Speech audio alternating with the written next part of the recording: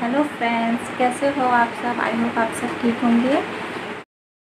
कल हमने शराब का सामान दिया था नवमी का, जो मेरे ससुर जी देते हैं, अपने मम्मी पापा के नाम का।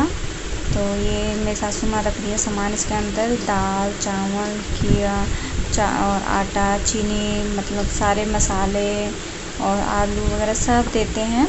और बाद में मेरे ससुर जी और सामान लेके आए थे, बगल शॉप में से। तो दूध और सारे मसाले के पैकेट, सब कुछ लेके आए थे, ये मसाले हैं सारे। सबका अलग अलग तरीका होता है सामान देने का तो हम हमेशा हर साल ऐसे ही देते हैं।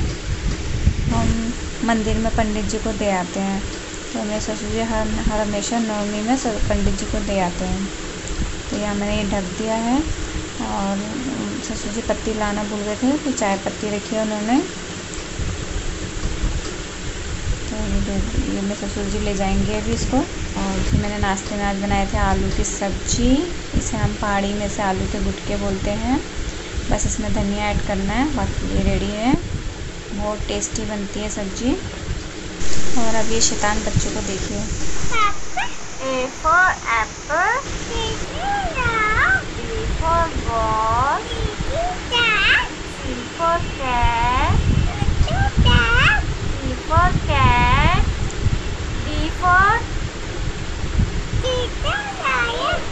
For dog. श्राव श्राव मम्मा को यहाँ पे ये खेल रहा है। और अभी मुझे ये डांटेगा ये देखना अभी पढ़ाई करवाता है और फिर मुझे डांटेगा। इसकी नौटंकियाँ देखना भी देखना।